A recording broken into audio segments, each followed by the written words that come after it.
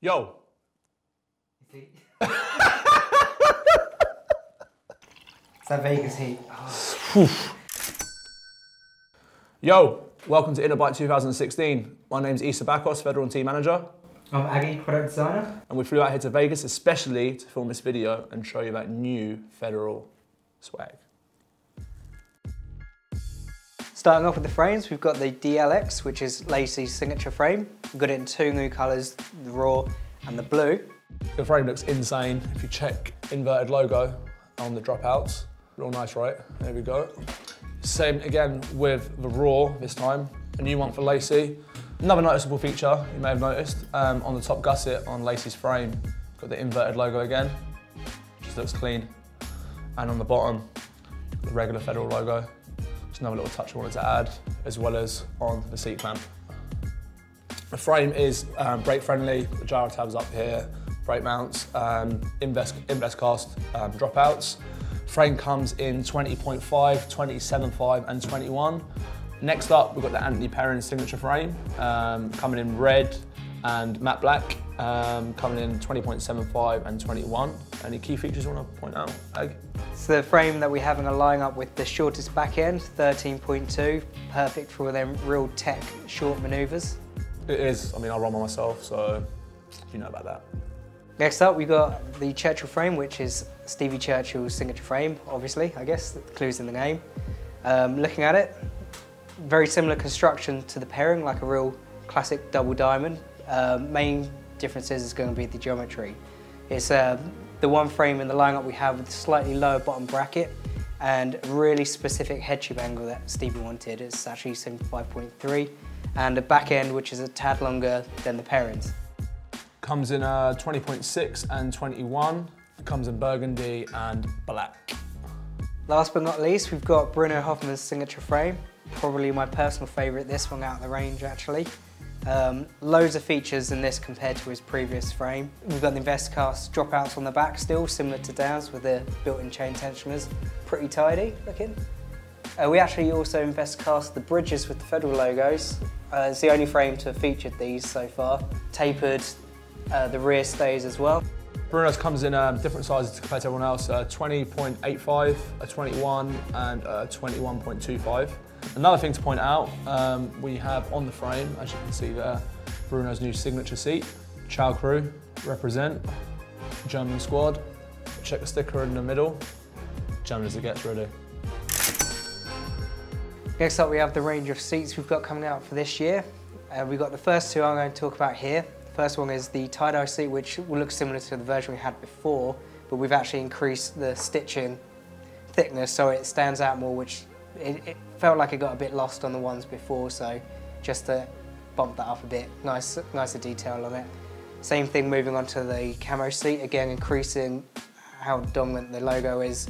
We've got the idea from hats really, like they have that bubble stitching, I'm not really sure what they call it, just thought it looked really cool.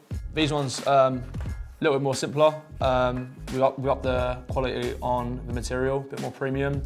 Um, matching stitching um, with the logo. The logo just sitting more, more flush and obviously the one which bubbles out. Also have it come in orange also, the orange stitching. Two new colours for this year we've got going on. We've got quite a loud orange for people and a more subdued khaki for those with the more classic look. Taking a look at the orange, we've got a black and orange tyre, which I think Jordan's running, right, Yeah. at the moment? Quite a loud looking black that. Yeah, very um, loud. with the seat we, we've mentioned, again, and the orange all matches up, and the grip that we've got in the marble grip, available flange, flangeless. Same with the khaki version, available flange, flangeless. Black still available as well. And new for the grips this year, they're a new softer compound, so they should feel even better to ride in. Um, also, if you noticed, our pedals also come in the khaki colorway and black. Been really popular this year. And as well as the pedals, we also have the tyres in the khaki. As you can see here, built on a complete wheel. Mind tell us more about that, Ag? Okay, yeah, our Federal stance wheels, first of all, built on the stance rim. We've got it black here, also in the gold, available separately. Yep. Um, but the wheel, right, okay. Starting off this one is the stance cassette wheel. We haven't done a cassette before, so we're pretty excited about this. Um, this particular wheel, nine tooth driver, male axle. It's also available on the female axle with its with 14 mil female bolts. um, which is a good option that. Uh, built four cross, crazy strong, and also includes a non-drive side and drive side nylon guards. Available as a free coaster wheel as well, which again will also include the guards, and a matching front wheel, again, includes the guards. So grind happy people, get your grind on, I guess.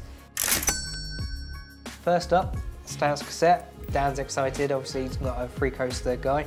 It's available in standard male axle or this really cool one that has the female bolts but they're 14 so they're dead strong. Um, and super flush if you don't run pegs, although main advantage for this hub is that it comes with hub guards out the box, two plastic ones. Okay, a nice feature about the nylon hub guards on these is that they're not specific to cassette or the coaster. Um, so when you need to order it, it's really easy. You don't have to specify you just order the federal hub guard either drive side or non-drive side.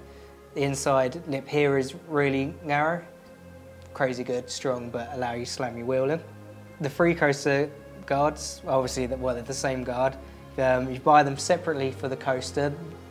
They'll obviously fit the new V4 coaster, but they will include hardware and you'll be able to fit them with any of the uh, previous federal coasters. So finally we got a hub guard. I know it took a while, sorry lads, but you know. We're there now. Yeah.